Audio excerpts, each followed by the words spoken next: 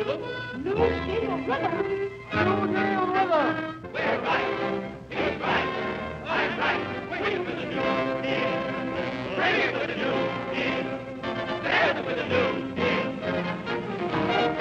Johnson arrived in Washington, the excitement and promise of Roosevelt's New Deal still animated the Capitol.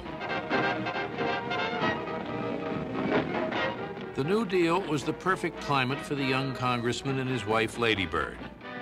He had proposed to her the day they met, and she became the perfect political wife. Rising at midnight to scramble eggs for his friends, running his congressional office, working as his business manager.